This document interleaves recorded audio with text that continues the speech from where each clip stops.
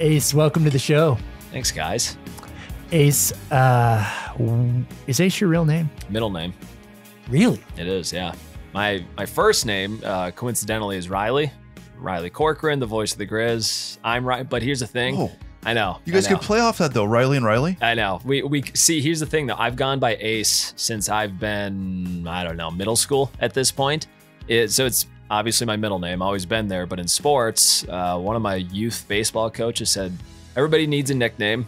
Saw that Ace was mine. My middle name. He said, "Why don't we just call you Ace? It makes sense for baseball." Now I was never the ace of the staff at all. wasn't that good at playing sports, but uh, yeah, I know. Riley, Riley, and Riley I know. be. I mean, I I heard there was a show called Mike and Mike. I know. Pretty I know. successful. We could Really just du- successful. Like ri- we could have duplicated from it. this point on, it's Riley and Riley. I know. Where did your parents get the middle name Ace? Because that's rad. I see. I've asked them before. They don't know. They dad just kind of. It was dad's idea. Uh, Mom took Riley. Dad took Ace, and that was that. There was. Where's Sauerwein come from? Is that so that's my mom's name. The parents are still together. My mom kept her last name, but yeah, uh, yeah. I don't know. Ace was. He's not a. My dad's not a card player. Was never a pilot. He just thought Ace was a cool middle name. I guess. he was right. Thank you. Well, speaking of Riley, other Riley, hmm have you guys collabed on anything? Do you guys ever work together, or is it just Yeah, so we uh this year the show you guys were on just a month ago or so on um, the Daily Drive. He's uh he's kind of a part-time uh host, I would say. Monday and Thursdays he comes on, but we do, you know, coaches show stuff together. We've done uh, broadcasts together. Like I've provided color commentary for some men's games and vice versa with him on the women's games. But yeah, we um yeah, and then I guess football broadcast too when I'm when we're home. I do sideline working with him there. Obviously, he's up in the press box, but yeah, we work together. so? There's some potential for some Riley and Riley. there is. That's awesome. There absolutely is. But now I feel like you're too entrenched in Ace.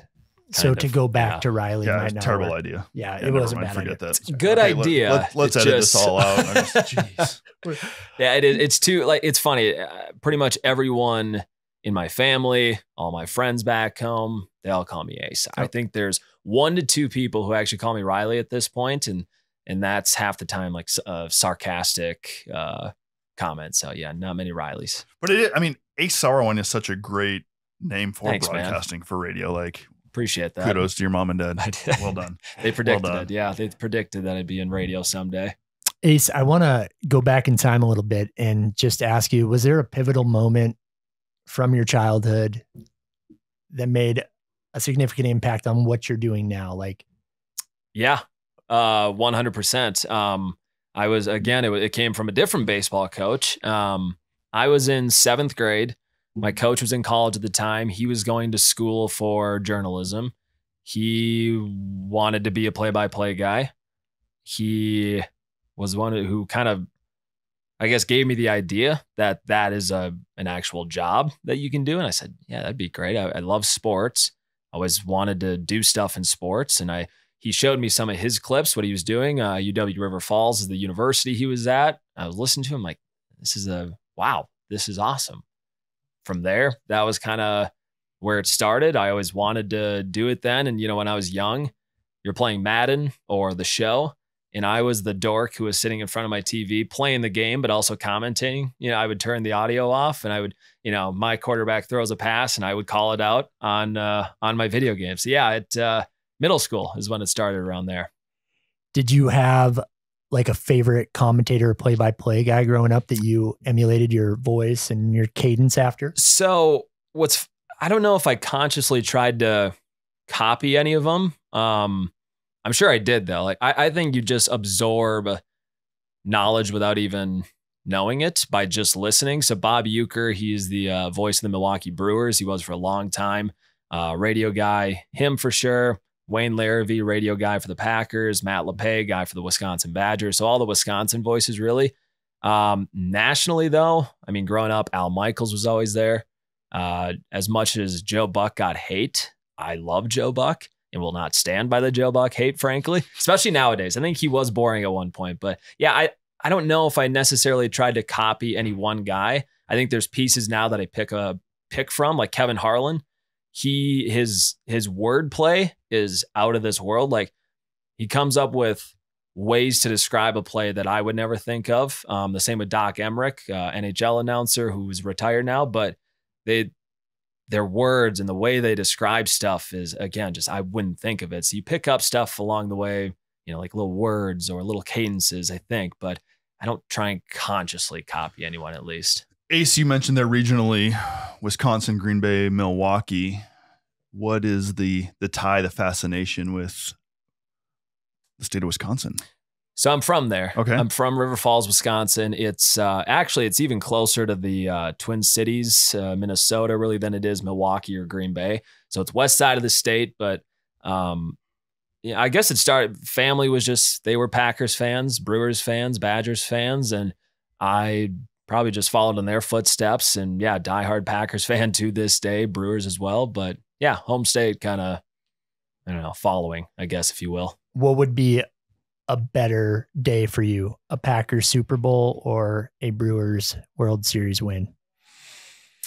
So the Packers are my all-time favorite team, but I've already seen a Packers Super Bowl. And if I see a Brewers World Series, I don't know if I could actually comprehend it because they were awful. Like when I was young, they went 26 years without a playoff appearance. So thinking of those days, like they're good now year in, year out. I still don't think they're ever going to win the World Series. So for that reason, if they did, I'd probably go Brewers just because I wouldn't know how to comprehend it. And I would 10 times out of 10 cry if that happens. If it ever, which it won't, guys, it won't. What was life like growing up, Wisconsin? What what's your parents' background? What they do? What yeah. I wish they were broadcasters, like nepotism. Maybe give me in like a Joe Buck uh, Yeah. or uh, Ian Eagle, Noah's son, uh, or I should say Noah Eagle, Ian's son. Uh, but no, my dad, he is a blue collar guy. He's been a maintenance um, tech and supervisor pretty much my entire life. Uh, he's worked at a couple different uh, facilities. My mom, she worked at this. Um, it's called biodiagnostics. They did a lot of like agriculture stuff, like kind of sciencey side of it. Um, I don't even know how to describe, but now she's retired and she uh, just hangs at home. But yeah, uh, again, I wish one of them was a broadcaster. Would have made this path a lot easier.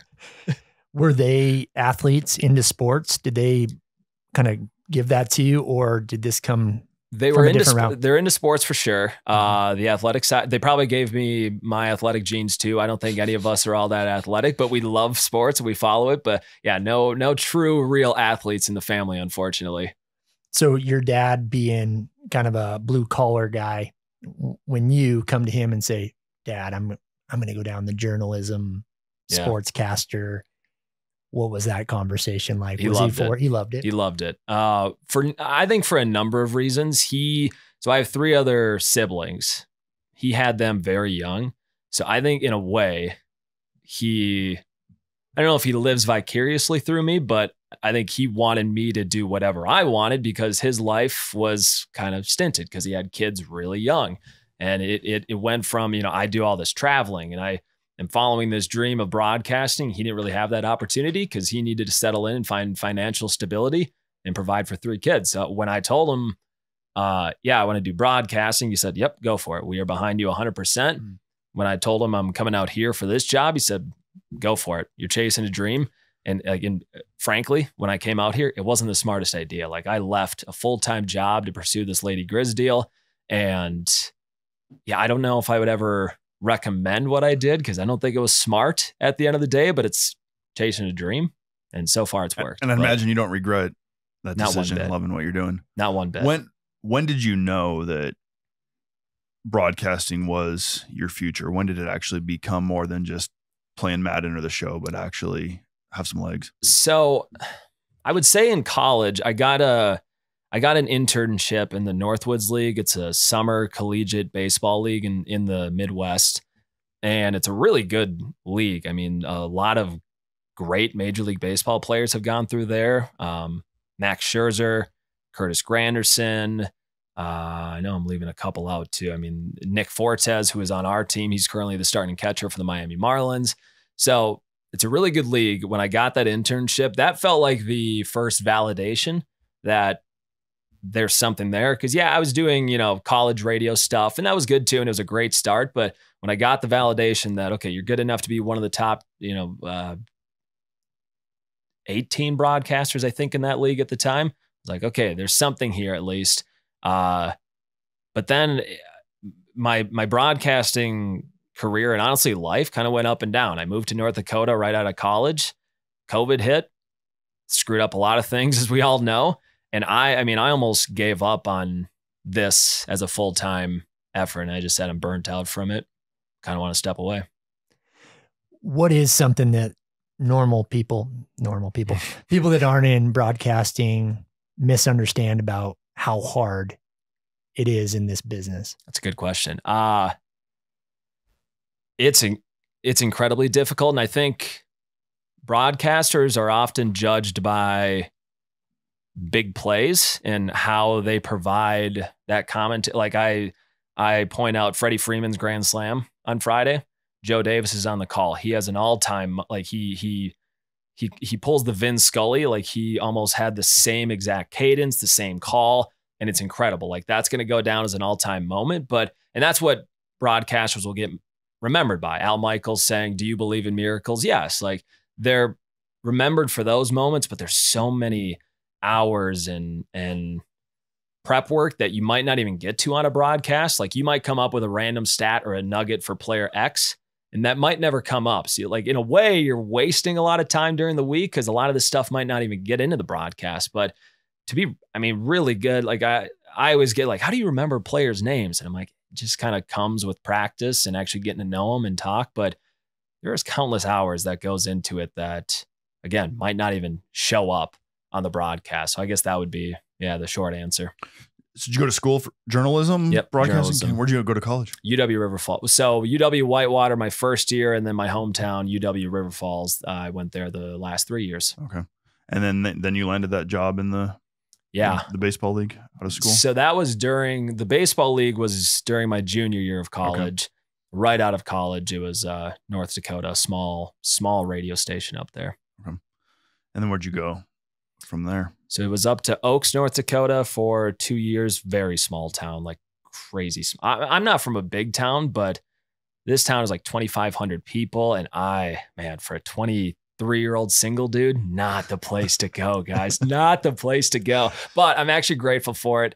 Uh, and then I moved up to Jamestown. Um, I was only there about eight months because that was when COVID hit and I just wasn't right mentally. I didn't like what I was doing. So then I went back home uh, to the Twin Cities for probably about two years before I came out here to Missoula. Still in broadcasting, Twin Cities. part time. Okay. It was um, just through a couple of local TV stations. I would do some games, but no, I got into uh, recruiting for jobs because I, I thought I was done broadcasting forever, or at least full time. But uh, yeah, I still was doing it on the side, kind of as fun. And how did this opportunity come up in Missoula? How did you hear about it? And then you said this was kind of a dumb decision to take the leap, but uh, walk us through that. So Learfield is this nationwide company that they're affiliates of a bunch of universities, including Montana, and they're they're always the one that has the broadcasting rights and the marketing too. But so I went on Learfield's website. I looked up every single property they had. Started with A, and I think it was Alabama, like the University of Alabama. I think was the first one. And I went through every school, and I just emailed their GM and said, "Hey, uh, looking to get back into broadcasting full time." do you guys have anything open? Most of the time, nobody replied. Sometimes someone said, yeah, I mean, we'll keep you in mind, but nothing right now. Montana hit, and I got a call from the guy who oversees all of the hiring at Learfield. And funny enough, he's like, hey, first off, stop bombarding everybody because when you email those guys, they just email me. So I probably emailed this guy, maybe not directly, but I probably emailed him, I don't know, 60 times at least. And they're going like, hey, if you ever need a guy, and he's like, Yeah, I've gotten this freaking resume probably 60 times at this point. But he, so he joked about that and he said, We actually do have something at the University of Montana. And I said, Oh, okay. And I talked to the GM here at the time, and uh, it was a very part time gig, not something you can really survive on. But I said, Let's do it. Um, the reason I say it's it wasn't smart because I had a full time job back in the Twin Cities. Life was stable, but it just it it wasn't i don't know fun i didn't have a passion doing the recruiting stuff so it wasn't smart in the sense of yeah i left money on the table i left stability on the table and move out here for yeah, you know, I think it was really like 11 grand a year with the Lady Grizz. And living in Missoula, as everybody knows, it's impossible to live here as is, but try doing it on Did 11 you know grand. dollar At an hour? I knew. Did so you when know I, how expensive Missoula was? when I talked to Riley, uh, he was one of my interviews, I guess. He, I mean, he mentioned like, I just want you to know, we want you here, but it's going to be tough. And funny enough, I kind of lied to my boss too, the my old boss here at Learfield in the in Missoula, and I said, yeah, I'm going to keep this recruiting job. I'm going to do that full time, and then I'm going to do the Lady Grizz part time. That was never the case. I was going to leave the recruiting job, but I didn't want to say to them that, yeah, there's a, you know, I'm going to have only 11 grand a year because I feel like when you're hiring somebody, like, why would you hire that guy? Like, okay, that's going to be really tough for you to live out here. So yeah, I completely lied to him and said, uh, I'm going to do, I'm going to work full time still. So don't you worry about my finances. We're, we're golden, man. But, uh, I still don't regret it. I don't regret it. Uh, I want to come back to your story. Let's go to our rapid fire questions. Okay. Steven, you ready for this? I'm ready. Okay, I'll kick us off. Let's go. Rapid fire number one. Ace, what was your earliest memory of Missoula? Um, man, I guess the only the, the first memory I have is literally pulling into town. That was the other thing. I never visited Missoula before, so the first memory I have is is getting off I ninety and so you uh, accepted the job before ever coming out here. yeah, again, stupid. I know, not the smartest in moves. Did you know anyone from Montana? Had you heard of the Montana Grizzlies, or was this totally? So I knew the Grizz because of their two men's basketball NCAA tournament appearances. Um, and I knew that Grizz football was a, a good FCS program for sure, but I always followed the Big Ten. So it's not like I was I was in the know about Missoula or the the university here. So what? Yeah, what was that first memory? Pull off the interstate. I get- and Just I like seeing uh uh what is it? Thunderbird Motel. Like I guess that was my first sight and I was like, hmm. Okay. All right. Drive to my apartment, start unloading, went over to Lady Grizz practice and met the coaches and yeah, after like an 18 hour drive from from Wisconsin. You know. Thunderbird. Yep. Thunderbird Motel. I guess that's the first. You first can memory. stay there with making eleven grand a year. I You can could. get a room. That's true. That's true. We could. What is your favorite coffee spot in Missoula? I'd go with uh Drum over by uh Sentinel because I used to live over there and I would just walk there and uh yeah, we'll go Drum. Favorite restaurant? Mm. Favorite restaurant. Oh, you count Mo Club with the burgers? Absolutely. Yeah. You have to say that? Yeah, As a- actually, contractually, you know, contractually, is that? I don't. I swear. As I'm wearing my Montana football. Yeah, yeah, right. Uh, actually, I'm going to change it. I'm going to go Flippers. Flippers. Just Ooh. the only reason is because Flippers has fries. I think burgers, I might go Mo Club, but Flippers is You gotta- one A, one B. That What- is a first. We've not had flippers on the podcast Really? before. Yeah. Have we?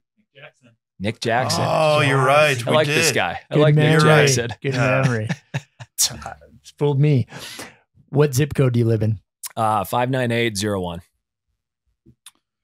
From your perspective, Ace, what is the weirdest thing about Missoula? Uh, I would say the mix of um, people and backgrounds, which it, it's not terribly weird to me because, like, when you live in a city like Minneapolis, St. Paul in the Midwest, you get a very uh, strong mix. So, like, political mix. I mean, here I, I think you have both very hard leaning liberals and very hard leaning conservatives as well. Like, same thing back home. So, I don't, it wasn't necessarily like a culture shock to me, but I do think it, there's just a weird mix of you know people that live in the middle of nowhere that come into town meeting the the college kids that are 21 and the exact opposite end of the spectrum. So yeah i'd say the the mix of people and backgrounds. What do you love most about Missoula? uh it's hard not to say the the love for the grizz because not only do i work for him but i you know i get to experience it on the field every saturday afternoon home game. Uh i've compared Washington Grizzly to Lambeau Field multiple times. The fan bases between the Grizz and the Green Bay Packers, like one of the best fan bases in the NFL. They're very similar. Uh, yeah, it's hard not to go with the the Grizz and just the love for the Grizz here. Ace, is there a particular book that you've read that has made Ooh. a significant impact on your life? So Al Michaels, his uh, biography, autobiography. I always forget what what one means. Uh, whatever the book about the Al book Michaels. about uh, Al Michaels. he just he had he has so many incredible experiences between the Miracle on Ice, earthquake that shook the World Series, and I forgot what year it was, but out in Oakland. Um, a number of Super Bowls. He covered Olympics overseas. He's done you know weird sports like downhill. What is it? Uh, motocross, like on ice, like stuff like that. Like I just think you can't find a better career and and thus like for me a better life to live out than what Al Michaels did. Walk me through. Let's start here. What all? You're, you're in Missoula. You came here for a part time hmm job. Was that with the Lady Grizz? That, that's Yep. where you started. Just the lady Grizz. What all are you doing today? So, and this is one thing that I, you know, I hope it doesn't come off as bragging, but I do brag about because I'm incredibly proud of what I've done here. It started with the Lady Grizz. Uh, I then I started doing part time radio work with Town Square Media here, doing uh, morning news on KGVO. That eventually grew into a full time job where now I'm the brand manager of our country stations. I still help out a little bit on KGVO. And then I host uh, our sports show Monday through Friday, the Daily Drive on KGRZ. So, I mean, that alone, it's fleshed out into this full time job. And now it's, it's enough to support me. But then over at the university, I'm doing sideline reporting for football, pre and post game for football, all on the radio. Um, then on ESPN Plus, I'm doing soccer. Pretty much done every home game of theirs. I do most of the volleyball home matches now on ESPN Plus, and then in spring, uh, I'll do softball too. I think that covers it. And you're still doing Lady Grizz. Yep, still doing Lady Grizz. Yeah, Wild. I know. Uh, I'm not bragging at all. That you're very good at what you do, Thanks, I appreciate uh, it. makes complete sense that you're doing all that. How do you keep that all Tough. together? Uh, especially so this month, November, brutal. I mean, I uh, uh, just next week, for instance, Monday, the Lady Grizz bus to Spokane. Uh, I got to do my regular radio work and try and get ahead of that this this coming weekend. But then when I'm in the hotel, I still have to do you know certain you know sports updates, and I have to do my show from the hotel, which will be weird. We haven't done it yet, so I'll see how that goes. But that's Monday. Tuesday, Lady Grizz play Gonzaga. We bus back after the game. Won't get into Missoula probably until what, 2, 3 a.m. Then Wednesday starts the Big Sky Conference soccer tournament, doing both of those matches on Wednesday. The semifinals, two more matches on Friday, championship on Sunday. And then plus football on Saturday, home game against UC Davis, very late one. What is it? 8:30 start, 8:15 start. Uh, and then on top of it, again, I still have all my regular radio station, uh, you know, nine to five tasks to do. I mean, it's really tough. That's been the biggest difficulty is finding the schedule of how to get everything done and do all my prep to the point where I get on air for a game and I feel comfortable. There's been times where I haven't had time and I just I'm short of my Do you, prep. do you work better under pressure? I mean, does this does a like a week like next week does that fuel you, motivate you? Does that do you just love it and you're in the moment that week? Or I do I do love it. I don't know if I I don't know if it's better in terms of um prepping and and just doing a better job. I do love the the the fast paced action of it, but I don't know if I do better or worse. I'm not really sure. Listen to the games and let me know how I sound next week. You guys can be I don't the have judge. time to listen to eight games next week, Ace. all right, Uh, all right. So do this for me. Uh, let's say Lady Grizz have a home game tonight. What does game day look like for you? Uh, so shoot around in the morning. Uh, home game shoot around starts at 7:30 a.m. So I'll get here or over to the university right around then. Uh, I do my interviews for the night. So I talk to Coach Holsinger, talk to an assistant, talk to a player, and that does pregame. Uh, Let me then- start. Let me interrupt you right there. yeah, go for it. So from a, you know, a, as Steven calls it, uh, being a nobody. Um, is that what you said? I think he's a normal person. Normal person. No, Yeah. sorry. I just I downgraded. Someone more outside the, I the downgraded. A little more derogative, Yeah. but that's all right. okay, so say I'm a loser. There's this when you go to that shoot around and coaches see you and they know they got to talk with Ace. Do they dread that, or is it part of the job, or is it actually? Players dread it. Do they? because yeah, they're 18 to 22 year old girls that I don't think like being on on on the radio Yeah. doing that stuff. Um, I would say right away when I first came here, there's there's a like a feeling out process with the coaches because you just don't know one another. And it's not necessarily you don't trust. It's just I don't know. Like picture when you meet someone, it's not going to be as comfortable as when you two are talking now after knowing each other for so Right. long.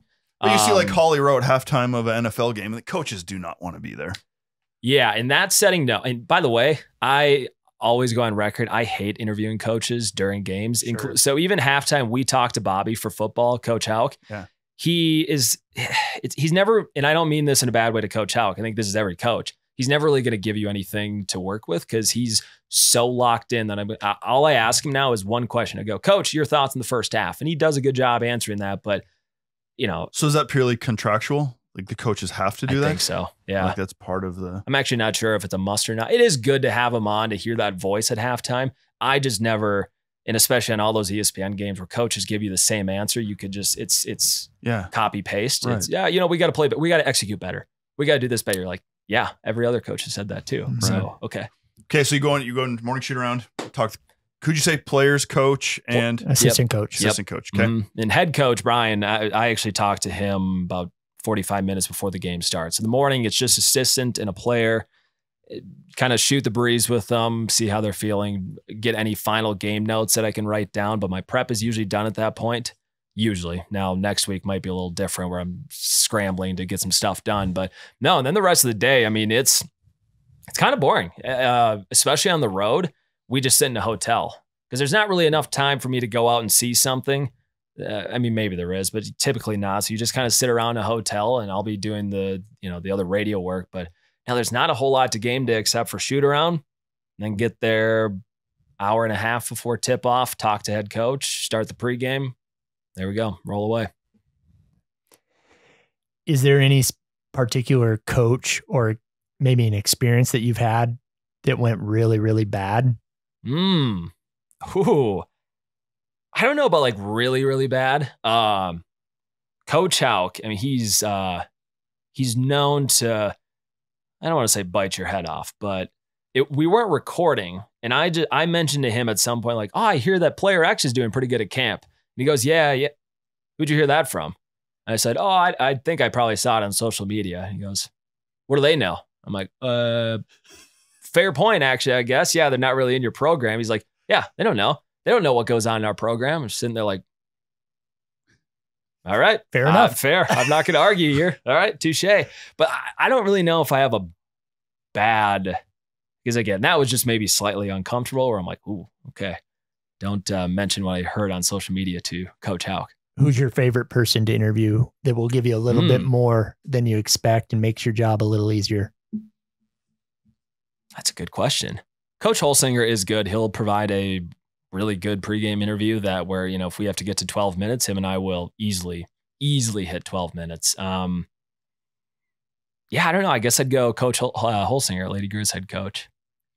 What is the purpose of a post game press conference with players? See, and I'm going to kind of go back to the same thought I have about interviews with coaches during games and players. Typically, they're not going to give you a lot, uh, especially Grizz football. Like, I I think those guys are coached and taught Seems like it. yeah, like keep it close to the chest, which I don't blame them. I would do the same, but it is just to give, I mean, it's to get access to the players and you hope you get a couple of quotes, especially, I think it's more for newspaper writers or just writers overall, just to get some quotes to kind of complement the story write up they have. Uh, yeah, I don't know. I'm, It's one of those my wife often comments just about how stupid post game interviews and conferences are. Yeah. Like, why do they? Like, yeah, everything else in the world is innovating and changing, and that hasn't. I agree. And what so actually I was texting my friends about this last night, just like any pre and post game show like you watch on NFL right now, I usually can't stand because it just feels so forced and fake. But you do get some great memes and sound bites. Yeah, you I mean- can. But I, I like I was watching Sunday night football last night and it just feels like every answer is canned and they're like forcing like laughter and jokes. And I to me, my number one thing, if anybody ever asks for advice, and you shouldn't ask, like ask somebody else. Riley Corcoran, he has much more seniority over me. But if you ever ask, just be genuine. Like don't copy like you guys asked, like, did you pick up from you know anything from your announcers that you grew up listening to? I don't try and copy them because it's never going to work. Like you're never going to be Gus Johnson where you hit that really high pitched sound where you freak out on air. That's not going to work for me. I can't even copy Riley. Like Riley's got his own style. I can't do it. So what I hear you saying is be more like Jameis Winston. just do Did your- I say just that? thing. That's- just do your Just be thing. yourself. Yeah, co- Be all right, yourself. that's fair. Actually, Yeah. yeah, yeah, you dub. Yeah, I mean, why can't that guy That's- do more That's interviews? fair. I guess I did say that. Kind of a long way around, but yeah, just be Jameis Winston. Yeah, I like it. Ace, uh, looking over your schedule and all the craziness you have here the soccer, volleyball, softball, football, all of that stuff.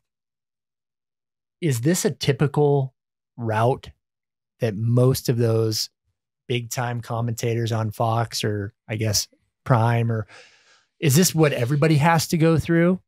a lot. Uh, and again, unless you are Joe Buck or Noah Eagle, where your dad is already in it. And no offense to those two, because they're both. I mean, Joe Buck is one of my favorites, and I think Noah Eagle's really good. But they had the. I mean, they have a leg up. There's no way around it. Their dad was in the business, but Or an athlete, ex athletes. yeah, or ex athletes for sure. Um, yeah, I don't. I think there's always different paths for everyone, and it depends what sport you're doing. Like if you're a Major League Baseball, um, number one or number two on a radio team, or if you're on national, typically you're putting in a lot of hours in minor league baseball, and that doesn't pay a lot, and you're doing a lot of busing and all that. Uh, college, you know, I, I think my path is probably similar to a lot of guys. Um, you start as a number two at some school, or you start as a number one at a small school and just kind of work your way up. But yeah, I think it's similar, but yeah, it's never, you know. It's So how, how does a guy like Kirk Herbstreit? Because the the the grind never stops. I mean, he's got college Yeah, game day, then he's got a he's on a flight somewhere to a game that night, and then he's got an mm-hmm. NFL game the next day, and like you're saying, the- like, how does he get yeah, to I mean, how do, yeah, how, how do guys? So it's always different for Is an it, analyst. is it sustainable? I don't honestly. So I don't know how he does it. I so when conference play starts with just Lady Grizz, when we're doing a Thursday, Saturday game game, and let's say like our trip to NAU in Northern Colorado, really tough. Like you fly to Denver, bus to Greeley, bus back to Denver, fly to Phoenix, bus to Flagstaff, bus back to Phoenix, fly to Missoula. Like that alone, like I get home on Sunday night and I'm just like, I'm tired. Kirk, I don't know how he does it. I now that being said, he gets paid a lot of money. So if I had that check in front of me, I'd probably say, "Yeah, I'll I'll fly all over." Like that's that's pretty easy to me. But hey, I mean, kudos to him too because he has to put in a lot of credit, and it always shows. Like the guy sounds informed, whether it's on Thursday night football or college game day or the broadcast that he does Saturday night. Like he's always on. He doesn't Always. have an off day. he is a titan. The the best story this year was Rece Davis. When they did game day in Cal, they had to get up like 2 a.m. West Coast time to get ready. He was supposed to just do game day and then maybe some like studio updates or something. I forgot. But then there was a, a- an announcer who had to ditch on, I think it was the Cal game that night. Something came up. So Davis had to step in. By the time he was done, he worked like a 24 hour day from getting up at two for game day all the way through that Cal Miami game. That to me is, I mean, again, when you're on that stage, would I do it? 100%. But I go, wow, that's honestly incredible that he did that. Ace, what is the end goal for you? What do you want to be doing? Great question. I was just gonna like, hey, Learfield and the Grizz, they're not listening right now. Like, what what's the dream? What's next? he, so I think I think even Learfield and Riley they they know my they know what I want to do. Like I want to become a number one at uh, if you if you if I could do dream school or dream place, it's the University of Wisconsin back home where so Matt Lepay has been doing it for a while. And believe me, I have it mapped out on my You have a vision board? not necessarily like a legit vision board, but eh, No something judgment. similar I- I- Something yeah, similar. where I like I have a 10 to 15 year plan where I think that's going to line up when Matt Lepay calls it quits for Wisconsin. And I I have all these different scenarios of okay, would it be enough to stay here as a number 2 and show him everything I did, you know, starting this new radio show, doing all these other sports? Or do I have to move on to a number 1 role as a at a different school, a smaller FCS school, uh, just throwing, you know, like a Eastern Washington or Weber State or something like that, like a size I, again, I'm not saying I want to. Just those You would those do it. I don't know. It'd be really tough now that I actually got here and I'm kind of connected to the Yeah, living in Cheney sounds fun, Ace. that's the real problem. That would Moscow? be an issue. That would also be. I think. Yeah, I don't know. I- I- Greeley. See, I and- mean, and I've thought of that though. Like, how? Okay, do I weigh career versus life at this point? Because I got a really good balance here. Made some great friends. Yeah. That was the other thing. Like, I moved here completely solo. I knew nobody in Missoula. Now have a really good circle through the university and even friends outside of that. So I go, okay, do I want to uproot it uh, to go to a Weber State like school? Is that worth it, both personally and professionally? I don't know. It'd be a huge TBD down the road, but I am very happy with where I am at right well, now. you have a track record for making really good decisions. So, it's true. We'll yeah, you never time. know with me. Straight So- from the cuff. so say you're sitting across the desk from some young, you know, freshman, sophomore in college. It's, they're in broadcasting or high school student listening who wants to Mhm. go in to broadcasting. They're they're a young ace. They're in front of Madden doing their own play by play. What piece of advice would you give them?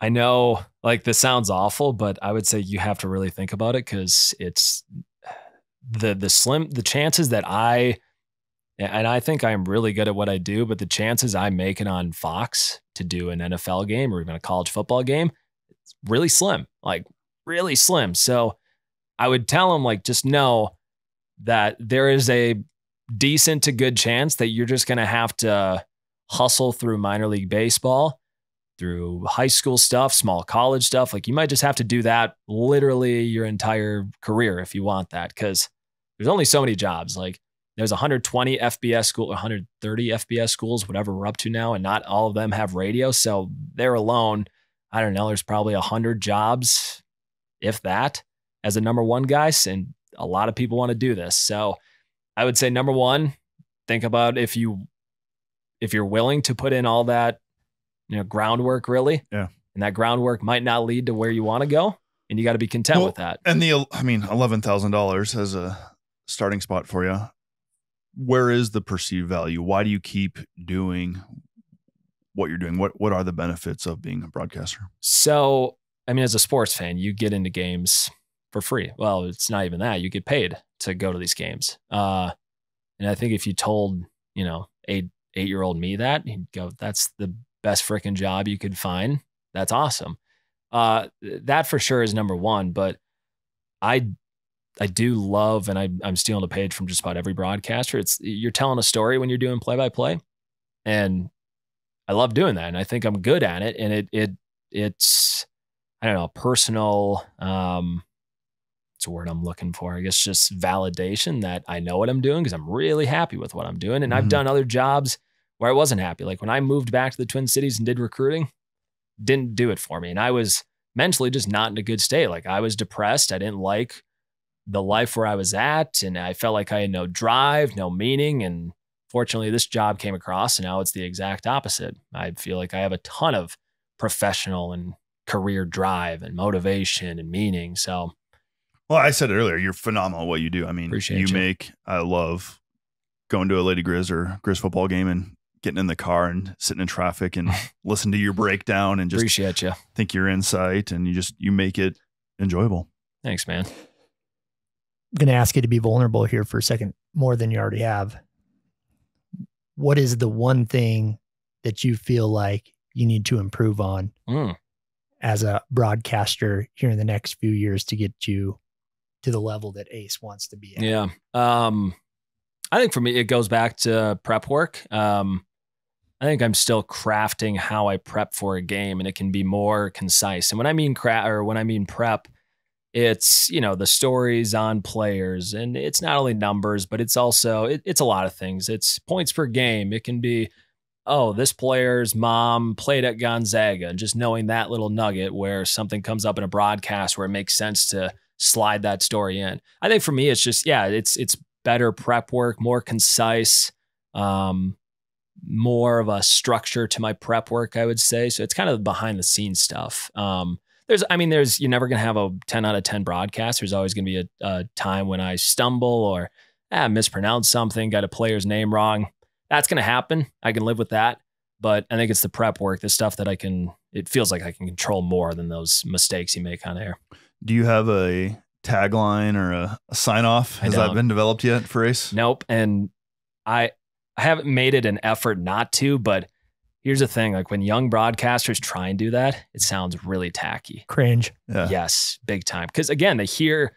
Um, I'm trying to think of uh, like Gus Johnson. It's not necessarily a tagline, but if you ever heard it, like he has this like really high pitched laugh and he freaks out. It's like wow, you know, like on a hail mary, he just loses it. You can't replicate that. If I tried, I would sound like cringe. I would sound like the dumbest person ever because it's just not going to work. So no, I I don't have a tagline. Corcoran kind of does. Like Riley does, and he makes it work. And it's it's it's simple though. Like every Grizz touchdown, it's touchdown Montana. So like you, it, that's simple. It's not corny. It's not cringe. He kills it. Like that's a good one. But I don't know if But necessarily he does it the same every time. The same Pretty much, yep. fluctuation. Like hmm Yep. Kind of like Greg, uh, Greg Sunberg. He's got Yahtzee. People love that. That that's a fun. You know, I don't know if that's a tagline, but he yells Yahtzee on some touch. He doesn't do it every time. Doesn't want to oversaturate it, but no, he he yells it and people love it. It's fun, but yeah, you, you just can't force it. It's not going to work.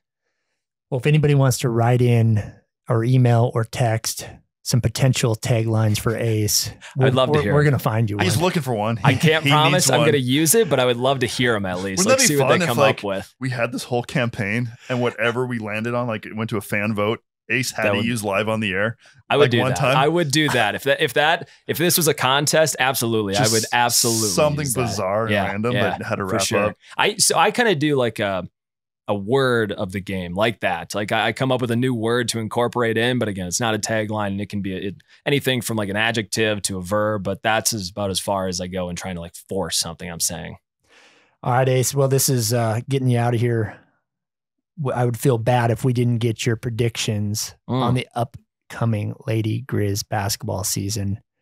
Give us some of your thoughts, prediction. How's it going to go? Uh, it's a new team. They three starters from last year return, but outside of that, going to be a lot of new faces, a lot of transfers, uh, returning players who have been injured.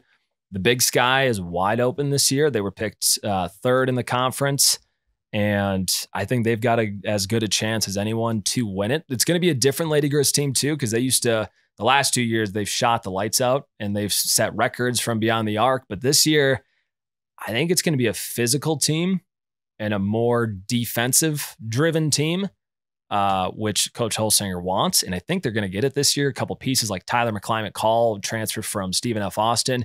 She sounds like she is just the most physical player, chippy play, like even in practice with her own teammates. You know, she's that. I, me too. And that's kind of what the last two teams I think have lag, uh, lacked. So, yeah, a little more physical.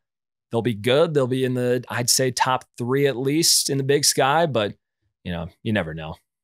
Dude, thank you so much for coming in. You've got a crazy schedule ahead of you, and we'll let you get out here and get on the road. But um, Thanks, fellas. yeah, thanks for taking time coming in. You do an excellent job, and thanks for making You, get, you guys did a much better job of like welcoming me into this show than I did with you guys because we, we were in the studio and just kind of shooting the breeze beforehand.